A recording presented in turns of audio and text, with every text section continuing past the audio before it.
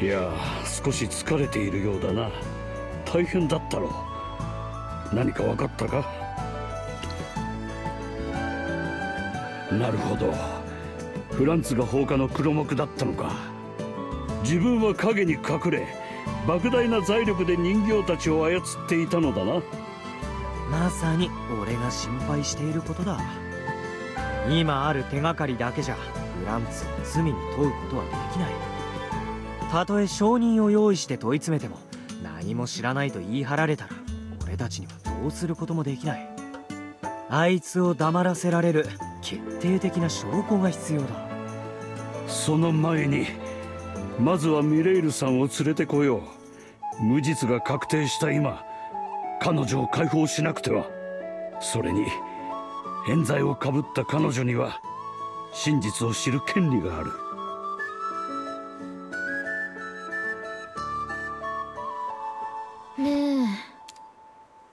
ちょっとギャラリーが多すぎない？あのミレイルさん。きっとオイラの顔も見たくないとは思うけど犯人呼ばわりしてごめんなさい。これについては心から。あらいいのよ謝罪なんて。むしろ私に絡んでくれたことを感謝するべきかもね。お前がいなかったら彼も私のために動いてくれなかっただろうし。そうですよね。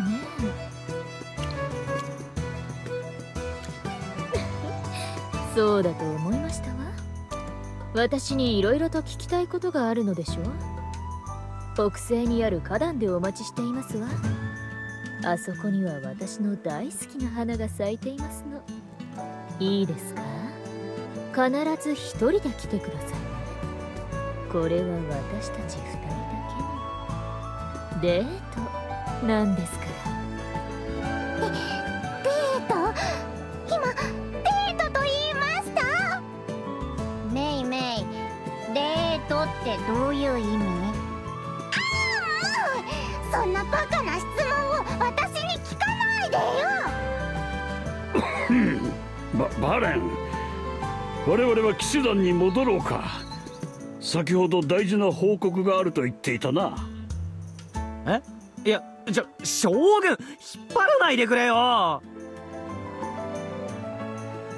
うわー。面白いことが起きそうな予感がしますね。ご安心ください。ちゃんと耳を塞いでおきますので。ミサタ様に誓ってお二人の話を盗み聞きしたりはしません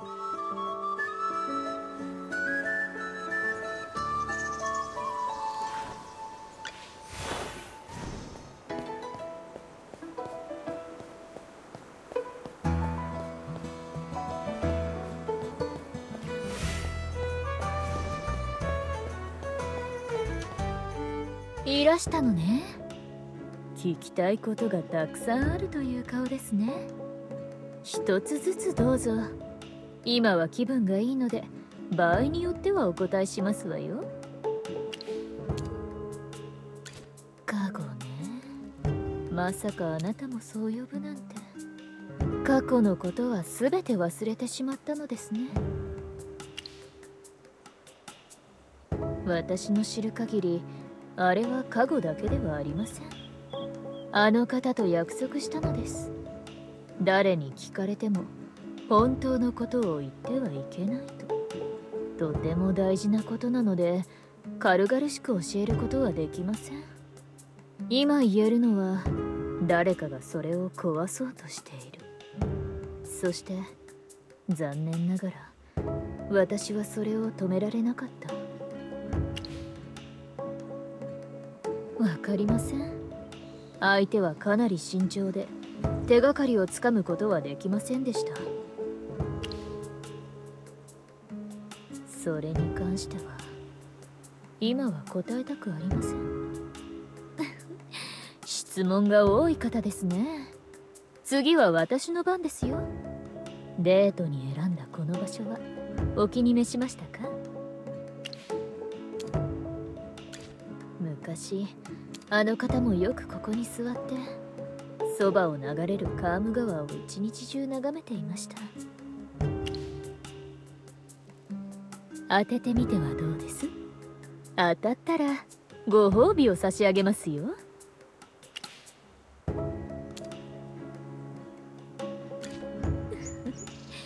果たして正解でしょうか？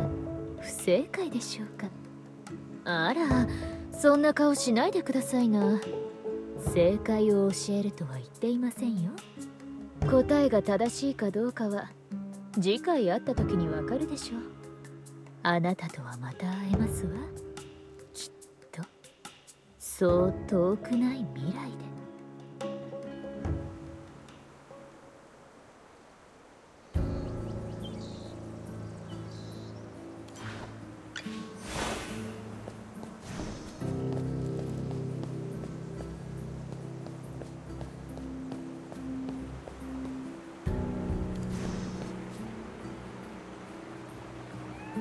ですから奥様は所用で外出しております。お引き取りくださいフランツ様。まあ待て。何が欲しい？言ってみろ。ビラ夫人に合わせてくれるなら何でもくれてやろ申し訳ありませんが仕事があるので失礼します。うて使用人の分際で。この世にはお金で買えないものもたくさんあるんですよどうやら高貴なフランツ様にはそれがわからないようですね。また貴様らか。どいつもこいつも勘に触る面をしやがって。行く先々を汚染して回る。疫病持ちのネズミどもめ。でもあのご婦人にとってはフランツ様はネズミ以下のようですね。黙れ。死に損ないのネズミどもが。おいお前たちあいつらを懲らしめてやれ。薄汚いネズミはおとなしく下水道で這いずり回ってるんだな。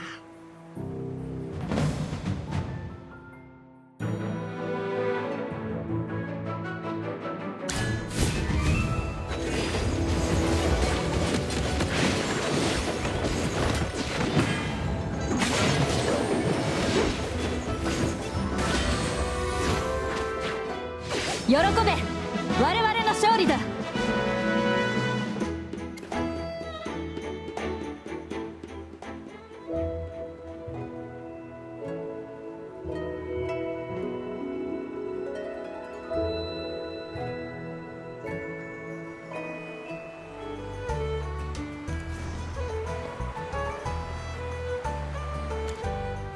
ビラ夫人。ああやっとお目にかかれた。随分なご挨拶ですねフランツさん。多忙で会えないと言ったら今度は屋敷の前で騒ぎを起こすのですか？誤解ですマダム。私ではなくこの者たちが理不尽に絡んできたのです。ああマダム。夜空の星のごとく輝くその瞳なら嘘を見抜き良し悪しを見分けられるはずでございましょう。あなた方の良し悪しなど興味ありません。喧嘩をするなら別の場所でどうぞ。私の庭を荒らさないでちょうだい。まあそう閣下せずにせっかくの美人がもったいないですよマダム。あなたには笑顔の方がお似合いですよ。あなた騎士団の鎧を着ていないようですがおそらくハーミットの方ですよね。こんな片田舎のいざこざごときにハーミットのあなたが手出しする必要などあるのですか？今何を？内定秘話情報噂。これらはハーミットの専売特許ではないのですよ。騎士団は貴族の剣と盾なのですから自分が扱う武器のことを把握するのは当然のことでしょ無礼をお許しください。よろしい。それでこそハーミットですわ。まマスターあの夫人ワレンさんとお話ししているはずなのになぜかマスターの方を見てませんか？えー、どうしましょう？あ目をそらしましたよ。まるで鋭い弓矢のような視線でしたね。まだ心臓がバクバクしてます。それでフランツさん私に何のご用ですの？マダムあなたに黄金の宴の招待状を献上したく参ったのです。今年のウィステリアクリスタルの豊作を祝して屋敷で宴を開くのですせっかくですからぜひマダムにも参加していただきたく。わかりました。他に用がなければ私はこの辺で失礼しますね。それではごきげんよう。貴様ら私を尾行しているのか。なんだ怖いのか？そんなビビるなって騎士団に毎日付きまとわれるなんてそんな待遇を受けれるのは2種類の人だけだ。一つはそこの明治様みたいな大物。もう一つはあんたみたいなやましいことがある悪党だ。はあ大物だと？こいつが？そいつがどういう名で呼ばれていようが財産も称号もない奴は皆卑しい平民だ。誰に向かって言ってるのか分かってるなあなたの目の前におわすはかの偉大なる明治。マルロンロン。なんで口を塞ぐのよ？落ち着いて。落ち着けですって？マスターの悪口は絶対に許さない。喋るネズミがペットとは？やはり明治はおかしな奴ばかりだ。金麦村で火事が起こった夜火の元素を召喚した明治がいると聞きましたが果たして空前でしょうか？せいぜいその錆びた脳みそで推測するがいいさ。勝った気でいるなよ。私と敵対すること自体が貴様らを敗北に導くのだ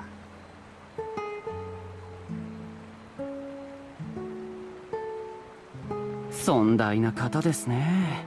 悪事がバレたと知ってもなおあの態度とは。そういえば黄金の宴とは何です？ブドウが豊作だっただけで宴を開くのですか？俺も初耳だ。フランツの屋敷の警備は城よりも厳重で客人だって今まで一度も招いたことがない。ならなぜ今回は宴にお客さんを招待しようと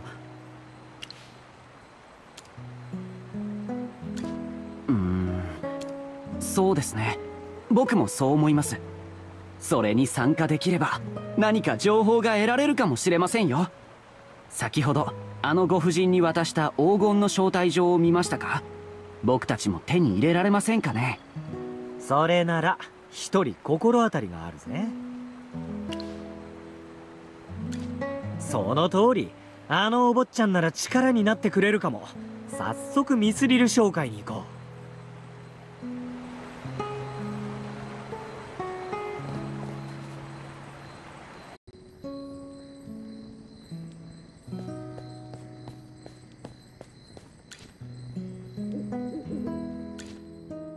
ルさんとの話は終わったのか？オイラのことを許してくれるといいんだけど。よかった。人を見たら客人と思えがうちの家訓なんだ。オイラのミスでミスリル商会の大事な明治のお客様を失うわけにはいかないからね。たく結局商売かよ。そうだ坊ちゃん。フランツから黄金の招待状を受け取ってないか？これのこと？さっき届いたけどまだ読んでないんだ。さすがはミスリル商会のお坊ちゃん。これで屋敷に入れるかもしれないぞ。そこの明治様を守るのが俺の仕事だが敵情視察のためなら君のボディーガードになってもいいぜ。ちょっとちょっと何の話？フランツが送った招待状は全部宛名入りで一人一通ずつだよ。たとえミスリル商会の名を出しても他の人は連れていけないよ。こんな大勢ならなおさら無理だ。あの野郎ずいぶん慎重だな。でも今から全員の招待状を偽造するのは間に合わないし。ぎ偽造？おいおい騎士団を舐めてもらっちゃ困るぜ。だがさっきも言ったように時間が足りない。俺も同じ考えだ。おいらも一緒に行くよ。何かあったら助けてあげられるかもしれない。遠慮なく甘えさせてもらうぜ。後になって俺たちに利用されたとか言うなよ。まさかこれぐらいもらった恩を返すには足りないぐらいだよなかなかギリがたいじゃないの。よしこれで決まりだな。各自準備に取り掛かろう。準備ができたら出発だ。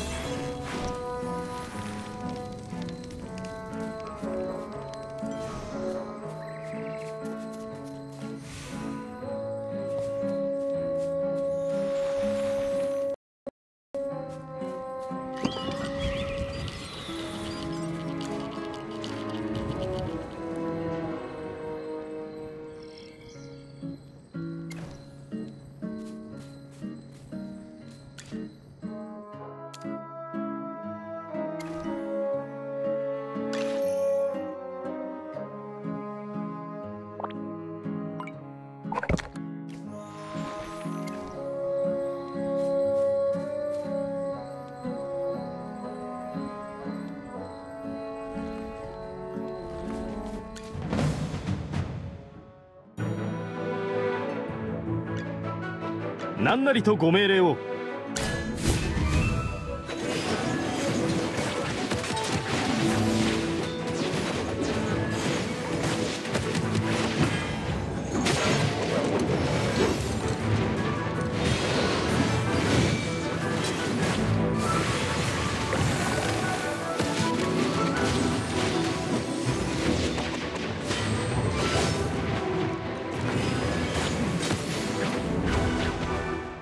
この盾を破れる者などいない。遅くなってすみません。皆さん大丈夫ですか？先ほどのグブリンかなり手強そうでしたね。予想以上でしたよ。またお会いできて嬉しいです。明治のお嬢さん。調査は終わったのですか？ええいくつか進展があったので急いでお伝えしようと思ってその様子ですとかなり深刻な状況のようですね。ウィステリアクリスタルを調べることで金麦村の南と北に流れる魔力が違う原因を解明しようと思ったのですがその過程でこのブドウの秘密を見つけたのです。ウィステリアクリスタルを食べると人も魔物も精神が混乱してしまうことはあなたもご存知ですよね。僕も身をもって体験しましたでもなぜ？ウィステリアクリスタルは普通のブドウではないからです。あれは果物というよりも人工栽培された魔法素材です。果肉には邪悪な魔力が大量に含まれていて食べたら高濃度の魔力が精神に影響を及ぼしてしまうのです。私の分析が正しければ果肉を生成することで人の心を操れる魔法薬が作れます。原料がブドウなのでブドウジュースやタルトにすれば疑われることもありません。そそれってまさかダークメイジと関係が？ダークメイジ聞いたことがあります。禁術に見入られた狂人たちだと。ですがあのフランツが魔法を使えるようには見えませんが。もしかしたらフランツのブドウ事業にダークメイジが深く関わっているのか。